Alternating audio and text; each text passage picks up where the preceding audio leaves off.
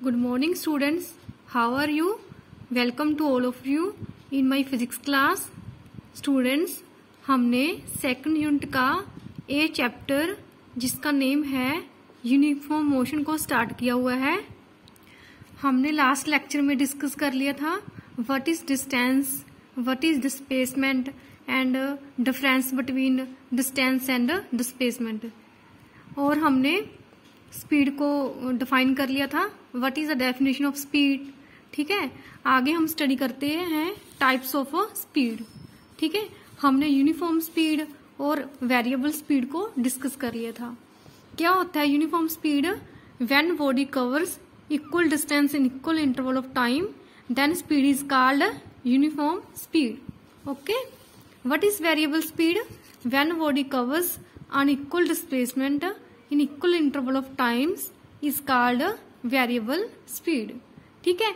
जो हम variable speeds होती हैं एवरेज स्पीड और इंस्टेंट स्पीड वेरिएबल स्पीड से ड्राइव होती हैं, आज हम उसको स्टडी करते हैं। सबसे पहले है average speed what is average speed average speed का फॉर्मूला होता है total distance travel upon total time taken ठीक है? आज हम एवरेज स्पीड के सबसे पहले फॉर्मूला ड्राइव करेंगे। फ़र्स्ट केस क्या है इसमें? अगर हमारे पास डिस्टेंस गिवन है और स्पीड गिवन है। If a particle travel distance S one S two S three with speed V one V two V three etcetera in the same direction then total distance ठीक है? Total distance का formula क्या आएगा?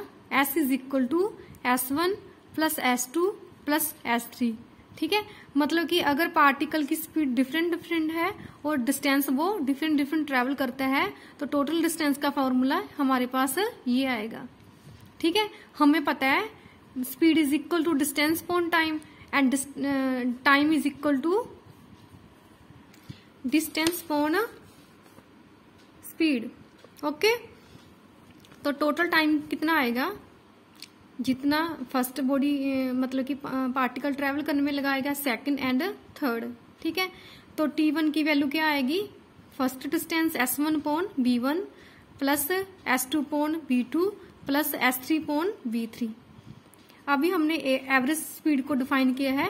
Average speed is equal to total distance upon total time ठीक है? हमने ऊपर total distance का जो हमारे पास फार्मूला आया था S is equal to S one plus S two plus S three put कर दिया और टोटल टाइम का हमारे पास ये फॉर्मूला आया था, हमने यहाँ पे पुट कर दिया।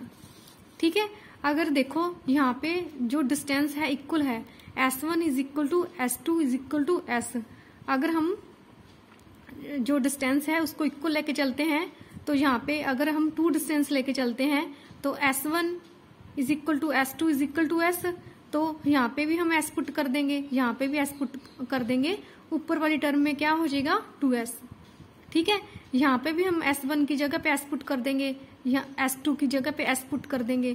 एस को हम कॉमन निकाल लेंगे ब्रैकेट के अंदर आ जाएगा one point V one plus one point V two okay? S के साथ एस कैंसिल हो जाएगा तो हमारे पास एवरेज स्पीड का फॉर्मूला आ जाएगा two V one V two upon V one plus V two क्योंकि देखो हमारा V one V two LC में आ जाएगा, ऊपर V two plus V one आ जाएगा एस के साथ एस कैंसिल हो जाएगा तो एवरेज स्पीड का फॉर्मूला आ गया two V one V two upon V one plus V two next case में हम क्या लेके चलेंगे? If particle travel with speed V one V two V three etcetera with time t1 t2 t3 इसमें क्या given है? Speed and time तो distance हम कैसे फाइन करेंगे? Speed is equal to distance upon time distance is equal to speed into time ठीक है? V one into T one plus V two into T two plus V three into T three average speed का हमारे पास formula होता है total distance upon total time हमारे पास total distance ये आ गया, हम यहाँ पे पुट कर दिया।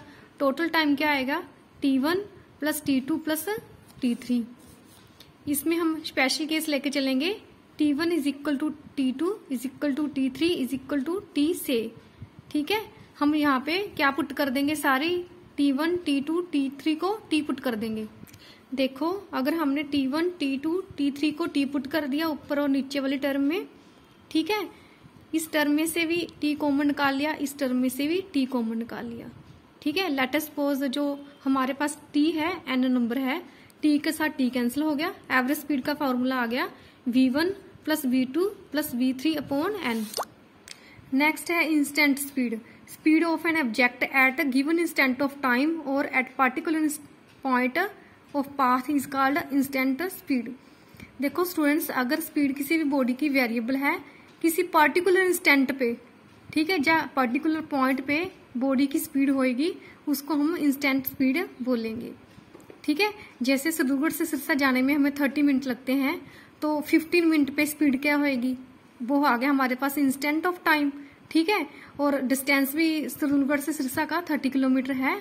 किसी पर्टिकुलर मतलब की पॉइंट पे टेन किलोमीटर जब हम पहुँच जाएँगे तो जो हमारी स्पीड है, क्या होगी that is called instant speed देखो स्टूडेंट्स इंस्टेंट स्पीड का क्या फॉर्मूला होता है?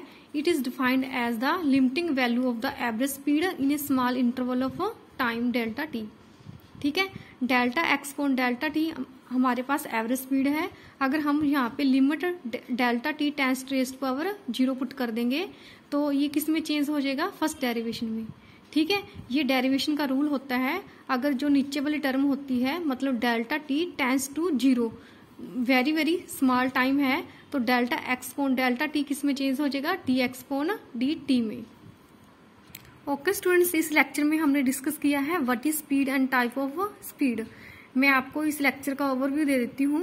टाइप ऑफ़ स्पीड जैसे यूनिफॉर्म स्पीड अगर बॉडी इक्वल डिस्टेंस ट्रेवल करती है इक्वल इंटरवल ऑफ़ टाइम में then speed of the body is called uniform speed variable speed का मतलब क्या होता है?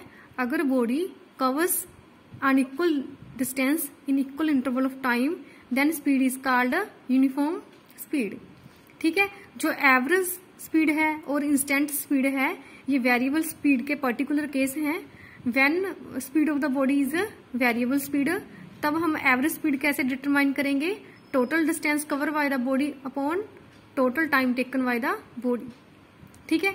इंस्टेंट स्पीड का मतलब होता है, अगर बॉडी की स्पीड वेरिएबल है तो किसी पर्टिकुलर इंस्टेंट पे या पर्टिकुलर टाइम पे बॉडी की स्पीड होएगी, उसको हम बोलेंगे इंस्टेंट स्पीड ठीक है? इंस्टेंट स्पीड का फॉर्मूला होता है limit delta T tends to zero delta X upon delta T okay students ये था हमारा स्पीड के बारे में आइडिया नेक्स्ट लेक्चर में हम स्टार्ट करेंगे वेलोसिटी